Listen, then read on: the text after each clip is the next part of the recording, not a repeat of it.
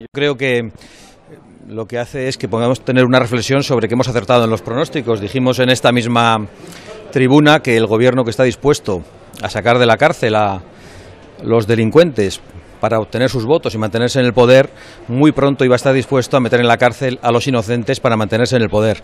Yo estoy encantado de que el gobierno nos denuncie.